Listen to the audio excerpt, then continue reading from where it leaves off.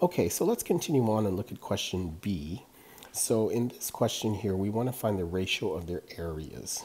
So the areas here, again, if we didn't know how to approach this, let's just start by looking at what is the area of a circle. So the area of a circle is simply pi r squared. So we could do the same thing that we did in the previous question. We can have area 1 over area 2. Okay, now area 1 is given by pi r squared, so that's going to be pi times 2.5, and we have to square it. Okay, so the key thing here is that the radius is now being squared. And then area 2, similarly, is going to be 3.2, and we're also going to square that. So again, the pi's cancel, so they actually don't enter into our ratio.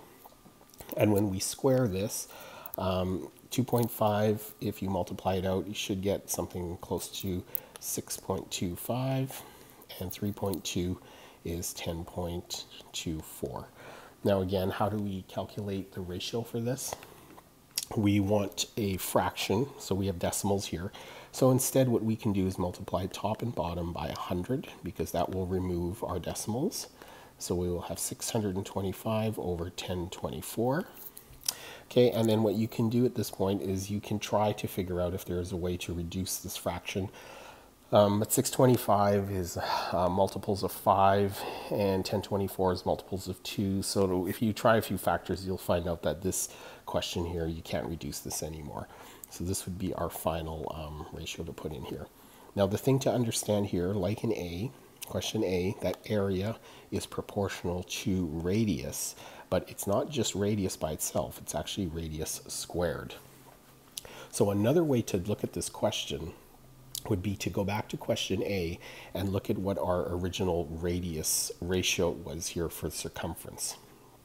Okay, the rate the the in question A we had 25 over 32 as our ratio. So that means area is proportional to the radius squared.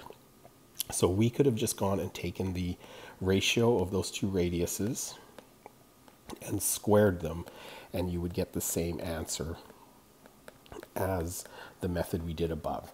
Okay, but that would, in to do that, you'd have to recognize that area is proportional to not just the length of the radius, but you have to square the radius, um, which is a fact, which is a key property of area. That linear measurement is related by a square factor to area. Okay, but again, if you if you couldn't um, see that part, then just start from um, the definition of area work out the two ratios, okay, and again, you'll still get the same answer.